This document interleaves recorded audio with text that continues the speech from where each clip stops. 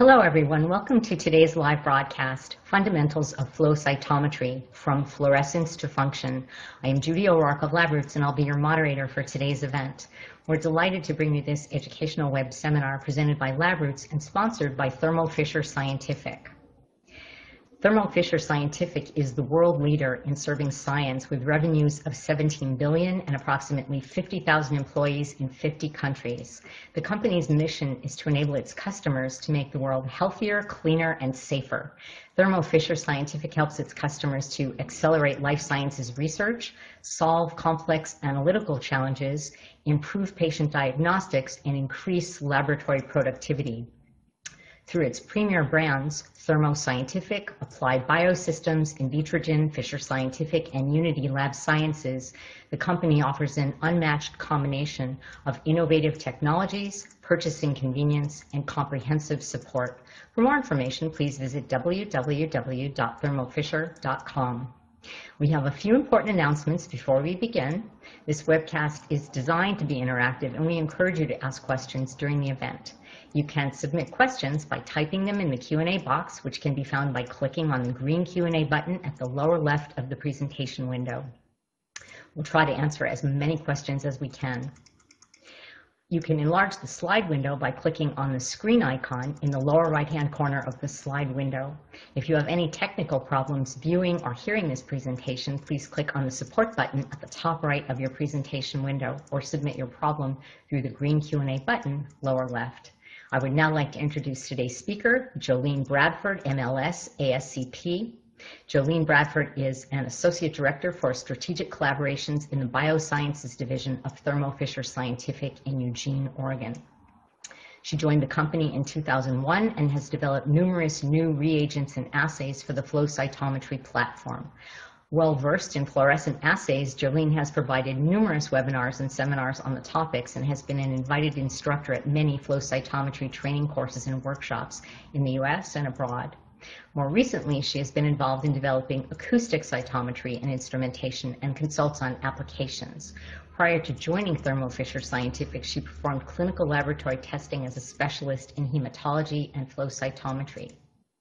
In 2014, Jolene earned the Certified Cytometrist, International credential. I will now turn it over to Jolene Bradford for her presentation.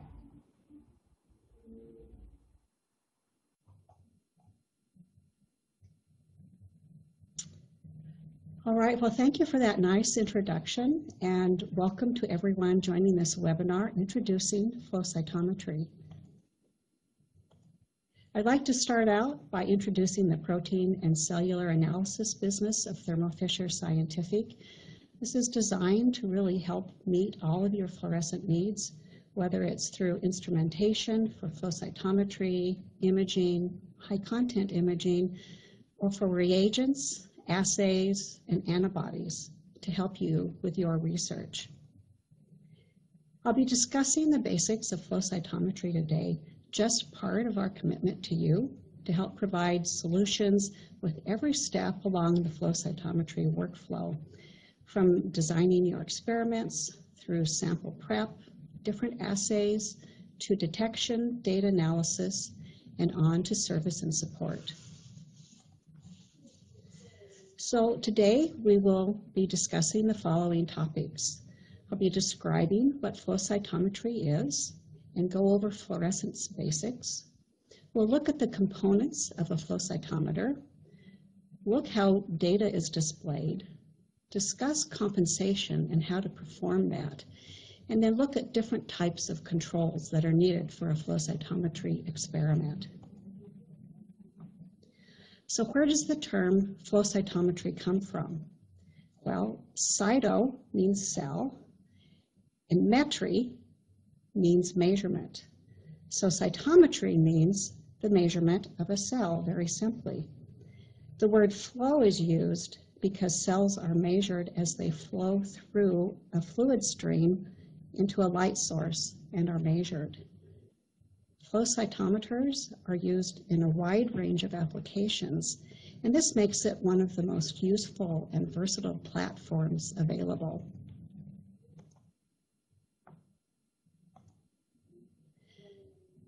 The flow cytometer performs analysis by passing thousands of cells per second through a laser beam and capturing the light that emerges from each cell as it passes through. The ability to perform measurements on single cells, thousands or even millions of cells in a sample, makes flow cytometry a very powerful platform available. The data generated can be analyzed statistically by software to report on the cellular characteristics. And most of the measurements use some type of fluorescent label. Some of the advantages of flow cytometry, this records data from single cells. You can make measurements on large numbers of cells and populations of cells. Thousands of cells, even millions of cells, can be analyzed very rapidly and rich statistical analysis on these cell populations can be achieved.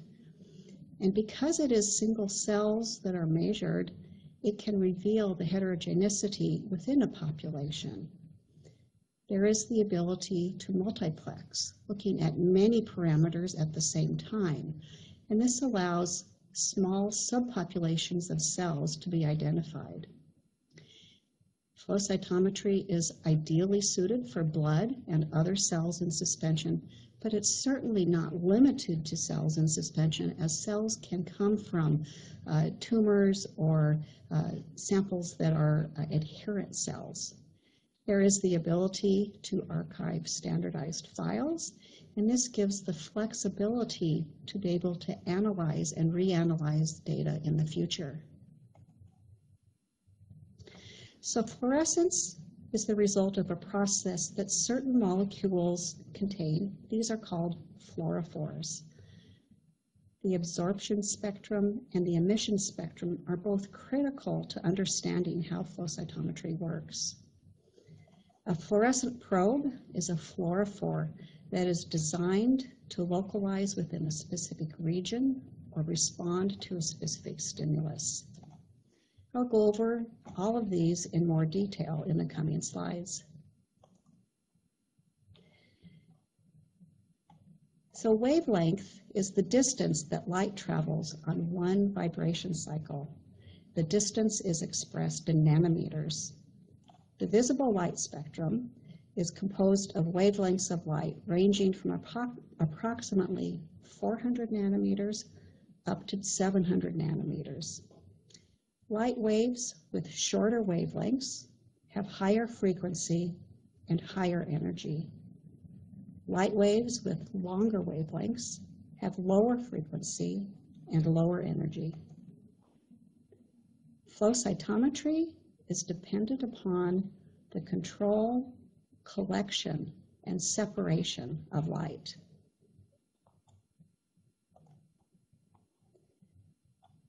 So here's what fluorescence is. A fluorophore is a molecule that is capable of fluorescing. In its ground state, the fluorophore molecule is in a stable configuration and it does not fluoresce. When light from an external source, such as a laser, excites the molecule, the molecule absorbs the light energy. The energy absorbed if the energy is absorbed is efficient to uh, the molecule, it helps it to reach a higher energy state. And this is called the excited state. This process is known as excitation. Next, the fluorophore can rearrange itself from this uh, semi-stable excited state back to the ground state. And excess energy can be released and this is released as emitted light. The emitted light is of lower energy and thus longer wavelength than the absorbed light. So we can summarize this cyclical process as excitation of a fluorophore through absorption of light energy. And there's a, a transient excited lifetime with some loss of energy and then a return of the fluorophore to its ground state, which is accompanied by emission of light. The emission maximum for the fluorophore is always at a longer wavelength, thus it has lower energy than the absorbed light or the excitation wavelength. And the difference between the excitation and the emission wavelengths is what is called the Stokes shift. Fluorophores can absorb a range of wavelengths of light energy, and this is called the excitation range. Fluorophores emit a range of wavelengths, and this is called the emission range. Within these ranges, there is the maximum for each, the excitation and the emission. Because the uh, excitation and emission wavelengths are different, the absorbed and the emitted light are detected as different colors on the visible spectrum. So this is an example of an excitation and emission spectra of the Alexa Fluor 488 dye. Uh, the spectra of a, fluor, of a fluorophore contain important practical information about what wavelengths of light we need to supply and detect in order to use that fluorophore effectively.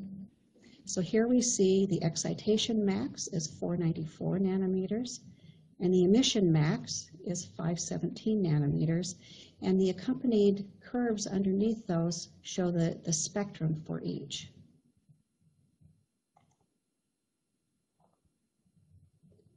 So the excitation and the emission spectra must be examined carefully, especially when choosing two or more fluorophores in the same experiment, so that the fluorophores can be excited in a manner that will generate distinct emissions. Spectroviewers, like the one offered on the Thermo Fisher website, are very helpful with this.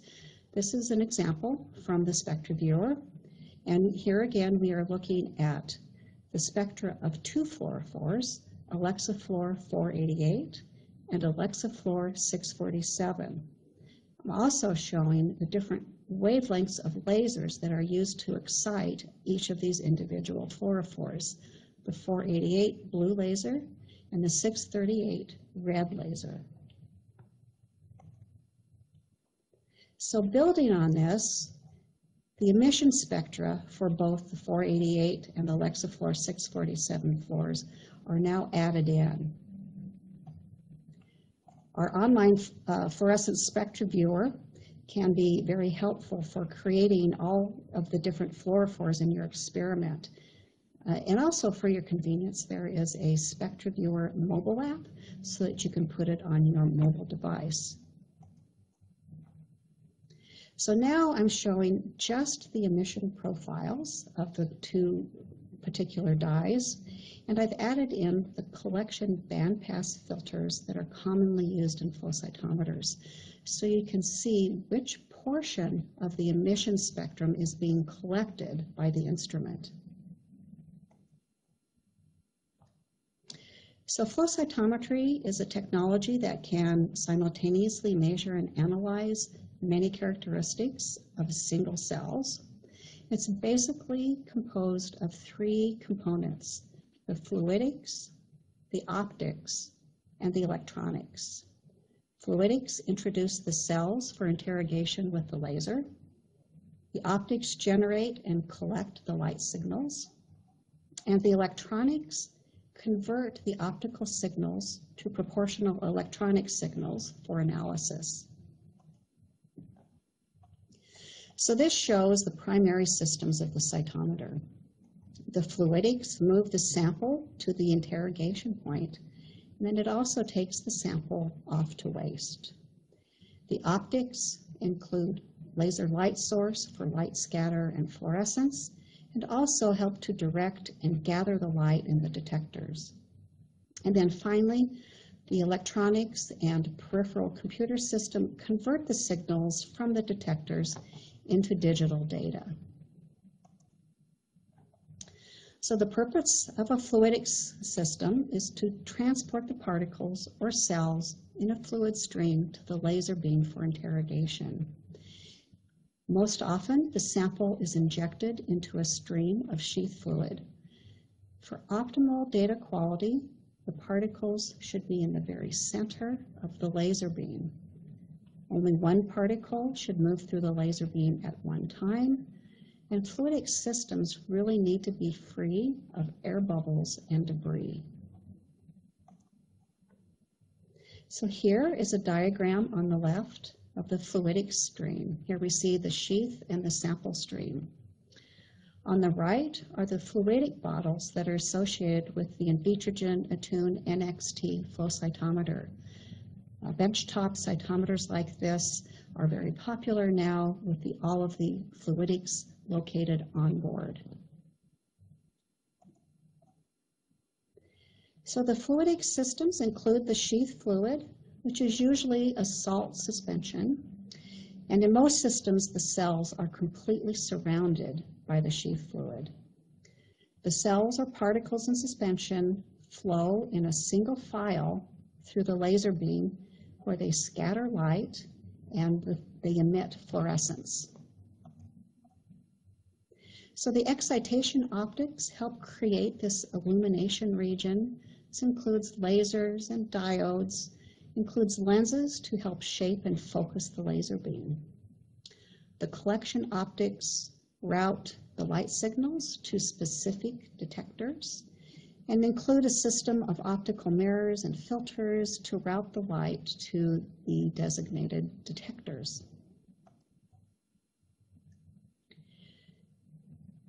This is, uh, laser light is a coherent light that is used by flow cytometers to um, excite fluorescent dyes and characterize the particles as they pass through the laser beam. So here we see some of the most commonly used laser excitation sources, but it's certainly not an exhaustive list of laser wavelengths. And as systems become more complex and have the ability to measure more and more parameters, the number of lasers per flow cytometer can increase. In multi-laser cytometers, they have, generally speaking, spatially separated lasers so that each cell passes through each laser interrogation point at different times. The information obtained at each laser interrogation point is aligned over time so that it can be recorded at the same time for each cell. And this timing coordination is called laser delay. There are some flow cytometers that use collinear lasers instead, but this complicates uh, emission and dye selection and can complicate data interpretation. So generally speaking, spatially separated lasers are preferred. So this is an example of optical filters on the left that are put in place to help direct the appropriate laser light to the appropriate detector. And then uh, PMT detectors are shown on the right that capture that light and then convert it into pulse signals. As cells pass through a laser, it refracts or scatters light in all directions. Light scattering occurs when the particle deflects the laser light. The extent to which this occurs depends on the physical properties of the cell or the particle, namely its size and internal complexity. Forward scatter is also called low angle light scatter, and this is the light that is scattered in the forward direction as laser light strikes the cell. The magnitude of the forward scatter is roughly proportional to the size of the cell or particle, but it's not an absolute measurement. Side scatter is defined as the light that is scattered at larger angles. Generally speaking, side scatter is collected 90 degrees from the laser's light path. Side scatter is indicative of granularity and structural complexity inside the cell or on the surface of the cell. Just using light scatter, such as uh, these plots here sh showing forward scatter and side scatter two parameter plots, just these alone can help with the differentiation of different cell types in a mixed cell population. So on the left, we have lysed whole blood. And again, this is no fluorescent parameters, but we can see three distinct populations of cells. And on the right, we see some cultured Jurkat T cells. And this, these are aged so that there is a significant dead cell population. And you can see a shifting of uh, population just based on the forward and side light scatter. So the interrogation point is really the heart of the system. This is where the laser and the sample intersect. And the optics that collect the resulting light and uh, light scatter and the fluorescence occur. So for accurate data collection, it's important that the particles or the cells are passed through the laser beam one at a time. Most flow cytometers accomplish this by injecting the sample stream containing the cells into a flowing stream of sheath fluid or saline solution. With hydrodynamic focusing, the sample is injected into a stream of sheath fluid where it is completely surrounded by the sheath. The sample core is then centered within the sheath fluid based on principles relating to laminar flow, the sample remains separate but coaxial with the sheath fluid. The flow of sheath fluid accelerates the particles and restricts them to the center of the sample core. And this process is known as hydrodynamic focusing. At a low flow rate, the sample core is very narrow and the particles interact with the laser beam in an optimal manner. To increase the flow rate in a hydrodynamic system, the speed of the sample core does not change, but rather the width of the sample core within the fluid stream widens. And this allows more cells to enter the core stream at a given moment. Within, with a wider sample core, however, some cells will pass through the laser beam off-center and intercept the laser in a less than optimal manner and this creates variability of signal. This results in a wider distribution of data and the resolution is decreased. This limitation, this trade-off of speed and sensitivity has largely been accepted by the flow cytometry community. So to obtain optimal data with the lowest signal variability, a conventional flow cytometer must be run in the lowest sample rate. In 2010, a breakthrough advancement was introduced. This uses acoustic sound waves to very gently place the cells in the middle of the fluid stream, regardless of speed or sample core width. Acoustic-assisted hydrodynamic focusing places the particles into the center of the sample stream. It's pre-focused and then injected into the sample stream, which then provides additional hydrodynamic pressure to place the sample prior to interrogation with the lasers. So the combination of these two forces results in narrow particle stream and very uniform laser illumination regardless of the sample input.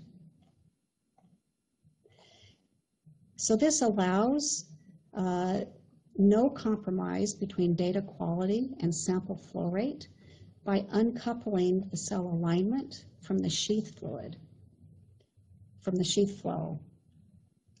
So flow rates uh, unimagined before are now possible up to 10 times faster. And high quality data is still maintained at these faster flow rates.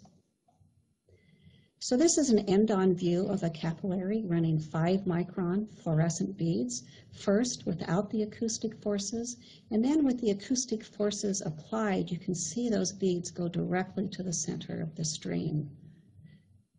The acoustic forces are taken off and then applied again. So again, you can see how these uh, particles go directly to the center of the fluid stream. So finally, we have the electronics. And these electronics function to convert optical signals to proportional electronical signals. This is also called voltage pulses. They allow us to analyze the voltage pulse height, area, and width. And then we interface with the computer for transfer of data and analysis. So as particles pass through the laser beam in a fluid stream, light signals are generated. And these signals are converted to electronic signals in the detectors. A voltage pulse is created.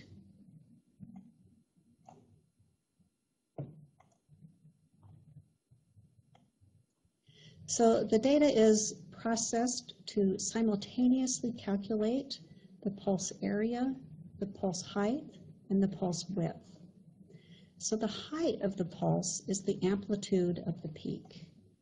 The area is the integrated signal under the pulse peak, and then the width is the time that it takes for the cell to pass through the laser. Many cytometers will actually calculate the width parameter. However, it is directly measured with the Attune NXT.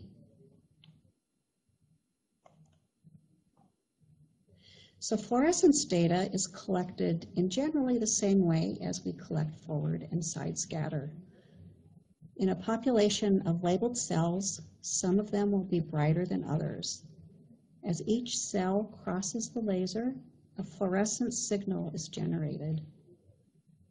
The fluorescent light is directed to the appropriate detector, where it is then translated into a voltage pulse that is proportional to the amount of fluorescence light that has been emitted. So flow cytometric data is stored according to defined standards called flow cytometry standard files or FCS files. This allows for a common and consistent language to describe the flow cytometry data. The name list mode file is sometimes used because the data are acquired as a list of values for each parameter or from each detector.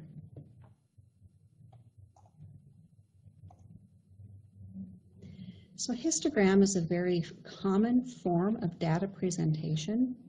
A histogram allows for the view of a single parameter against number of events. It can also be called a single parameter plot. They come in a variety of different sizes and shapes depending on the data that is being acquired, as seen in the examples uh, at the bottom here. So lines can be drawn around a population in order to distinguish them from one another on a histogram. And then two parameter plots are often called dot plots or density plots. So here we see the exact same data shown as a dot plot and as a density plot. So this is a, a type of graphical representation of two parameter data where each axis represents the signal intensity of one of the parameters.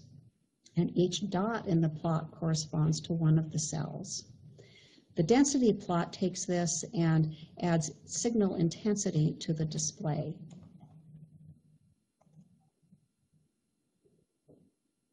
Two parameter can also be called bivariate plots. And here's some additional examples of a density plot on the left and a dot plot on the right.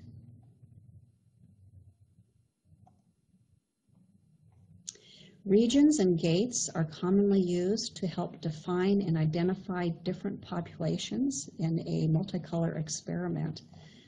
Uh, the most popular application is to use gates in a sequential order so that you can limit the data display and define the parameters for statistical uh, analysis. So this is, a, is an example of using a gate. So here we have a mixed population in the plot on the top. A region is drawn around the lymphocytes, and then the plots on the bottom are gated on the lymphocyte. So this display would reflect the fluorescence properties of only the lymphocytes.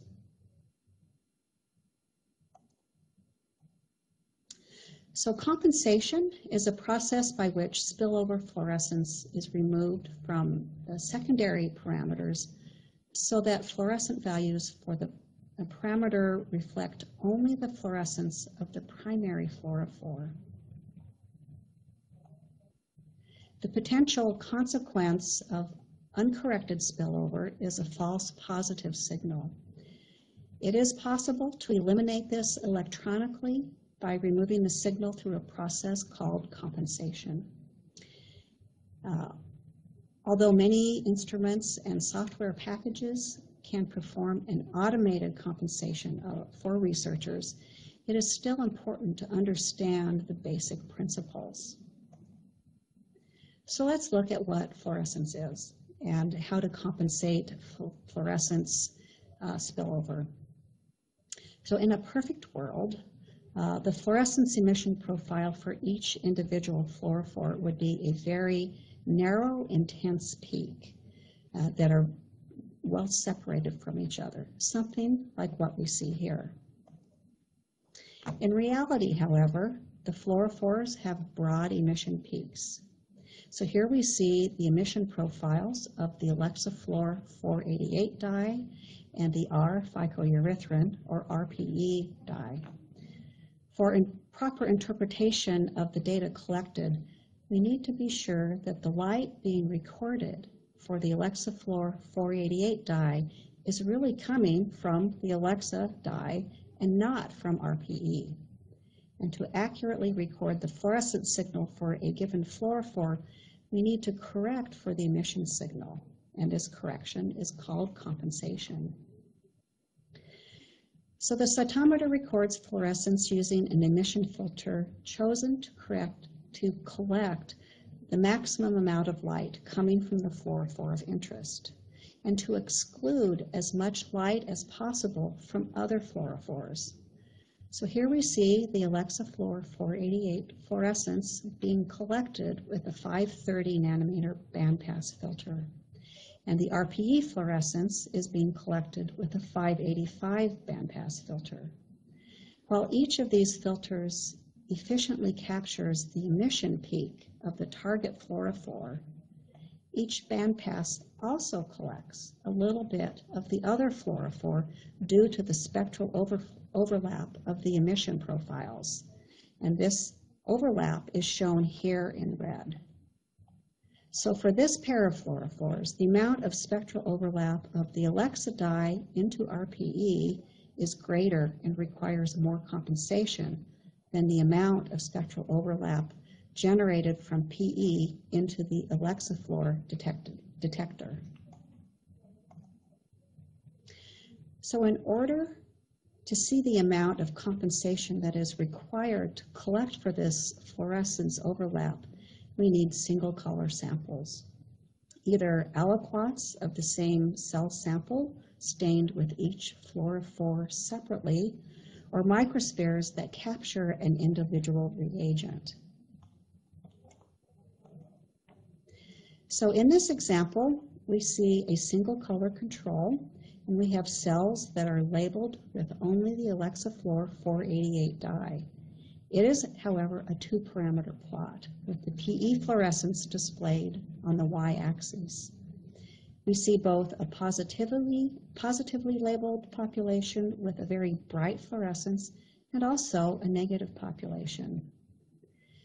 However, these same cells emit fluorescence into the PE detector, and this results in this apparent upward shift of the population where there is no compensation applied.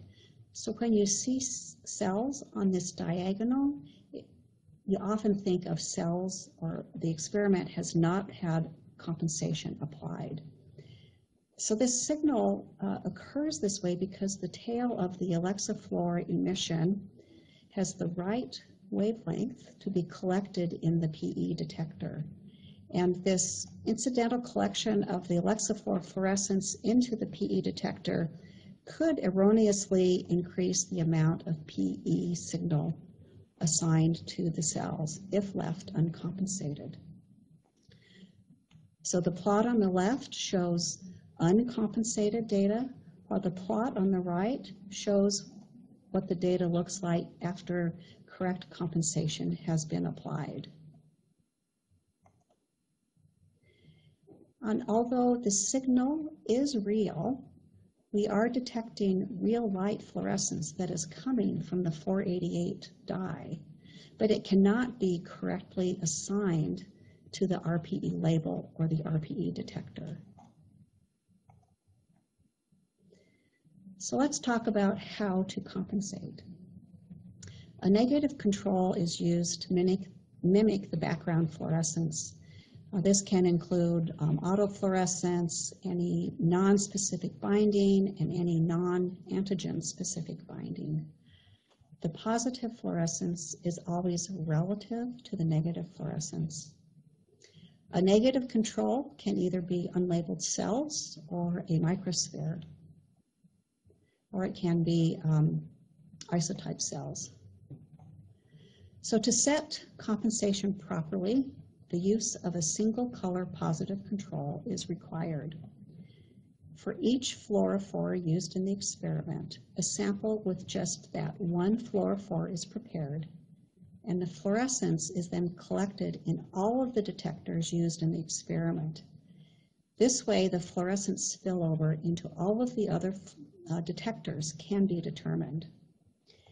It does need to be the exact same fluorophore that you're using in the experiment.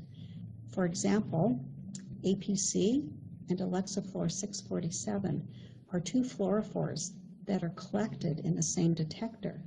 But the spectra of the two are different and they will produce different compensation values.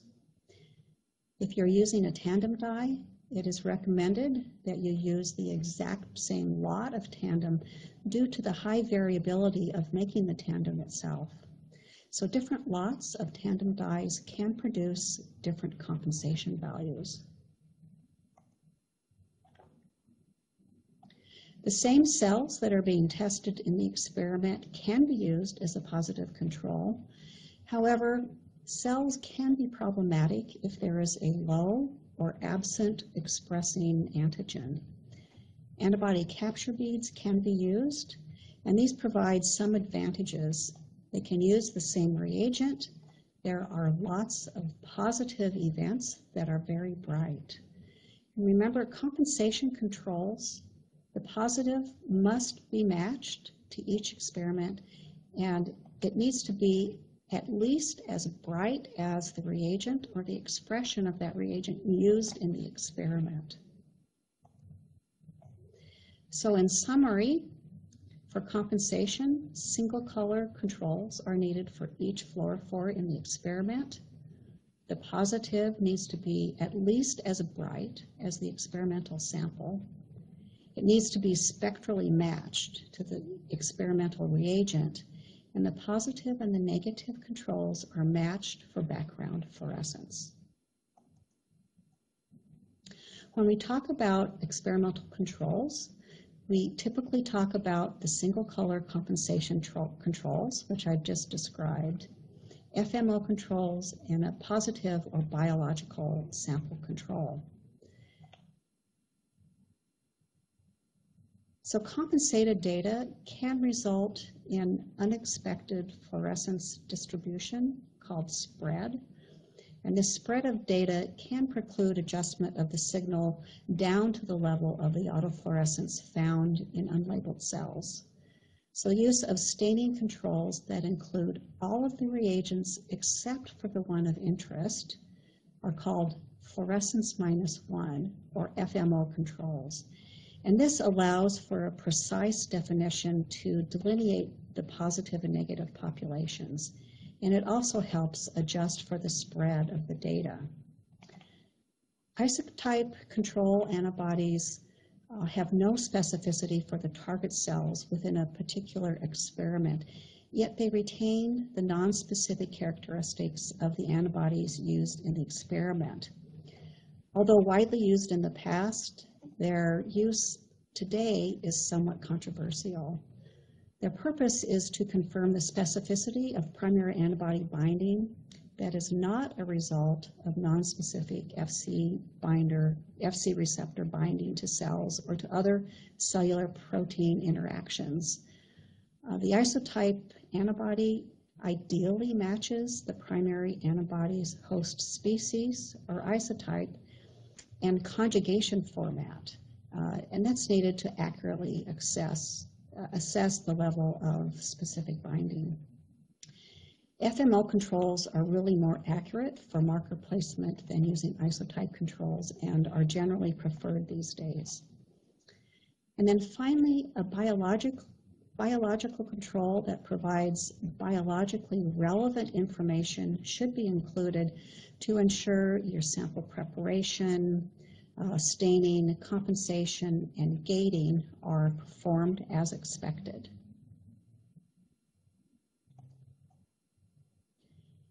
So this brings us to the end of our webinar. Thank you for joining me today. And I think we have some time for a few questions.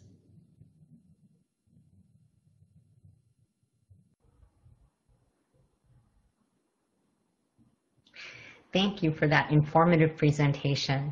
Before we get started on the question and answer session, I would like to remind our audience how to submit questions. You can submit questions by typing them in the Q&A box, which can be found by clicking on the green Q&A button at the lower left of the presentation window. We'll try to answer as many questions as we can. And our first question is, can you explain what autofluorescence is? Sure. So, um, sure. So, uh, autofluorescence is a term that is has been given to describe the nat natural fluorescence that occurs in cells. Uh, autofluorescence contributes to the background signal, and uh, so thus it, it can uh, be a factor in the separation of separating positive and negative signals. Um, it basically can decrease the functional signal resolution. Uh, larger cells have uh, more autofluorescence in general than smaller cells, and uh, laser wavelengths that are lower generally produce higher autofluorescence.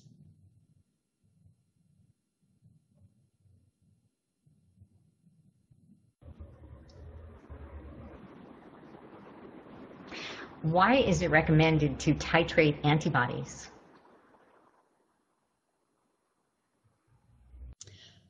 Uh, yeah, that's a, a great question.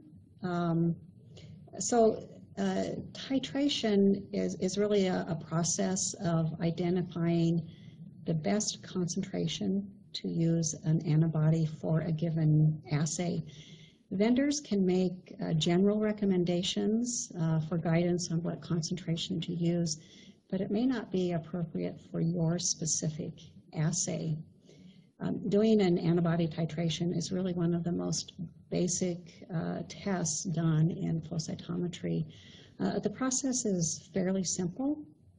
Um, uh, keeping the cell concentration constant and also keeping the conditions of labeling constant, such as uh, temperature and time of incubation, even the volume of the reaction. And then you can make changes in the concentration of the antibody used. And you can look at the difference between the positive and the negative signal, uh, make calculations around signal to background or staining index to really find uh, the most optimal uh, titer of antibody or concentration of antibody that's used for your particular experiment.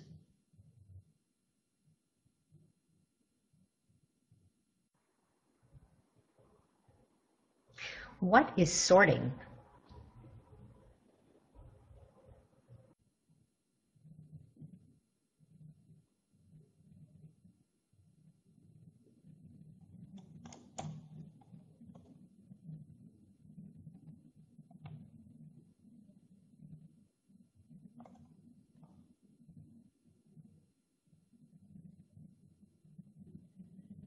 So I, I, think there was a question around um, what is sorting, and I really didn't address what sorting is. Um, so a sorter is um, a type of specialized flow cytometer that can separate cells and then collect them for downstream studies. Um, most common, the most common type of sorting has a uh, piezoelectric vibrating mechanism that causes the stream of cells to break into individual droplets. And each droplet will ideally have one cell. Um, just before the stream breaks into droplets, uh, the fluorescence is measured and uh, an electrical charge is placed on a droplet that contains the cell of interest so that it can be deflected for collection. So there's uh, newer sorters that are coming onto the market that use um, microchip-based sorting, and uh, there's a, a, whole variety of sorting options from very simple to very uh, complicated uh, instruments.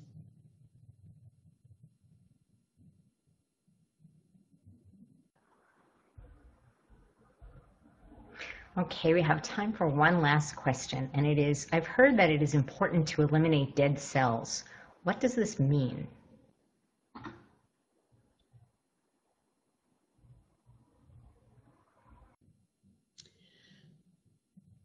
Uh, so, so that's a great question, um, especially with immunophenotyping experiments. Um, it's really important to identify dead cells so that you can uh, take them out of your data analysis. And this is because antibodies have been shown to non-specifically bind to dead cells, and this can give you a false positive reading. Uh, so using a dead cell stain um, to help identify dead cells, uh, you can gate them out and make your, your data much more accurate. There's uh, really two ways to do this. There are impermeant nucleic acid dyes that can be added to your cell prep as the last step and not washed out. There's a number of choices like the SYTOX dyes or propidium iodide, uh, and these can be uh, uh, used to help uh, in your experimental design. There's also the live dead fixable amine reactive dyes. So these are actually fixable so that you can use these with, um, with experiments that use fix and perm and looking at intracellular targets. Uh, all, all of these dyes come in a variety of colors so that you can um, use them in whatever experimental design and however many colors you have for your experiment. And I would suggest, um, again, using a SpectraViewer to put these into your experimental design. So basically, it's um, identifying dead cells so that you can eliminate them from your data analysis to create the most uh, accurate data that you can.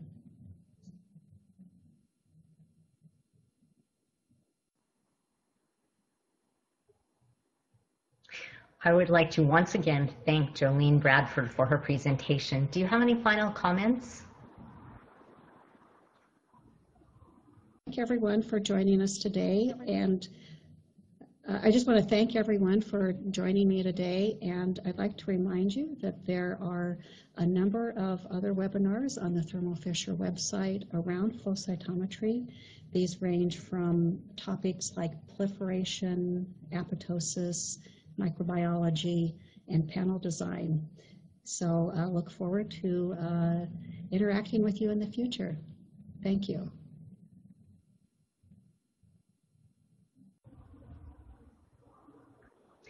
Thanks again. I would also like to thank our sponsor, Thermo Fisher Scientific, for making today's educational webcast possible.